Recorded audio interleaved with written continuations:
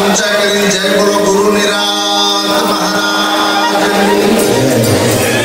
पूजनीय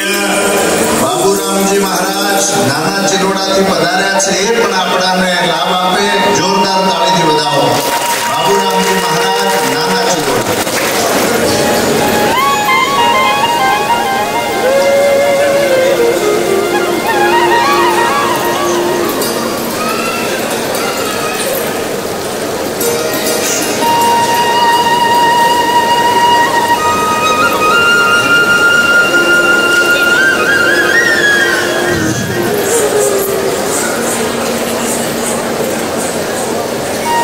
Guru Sadaguru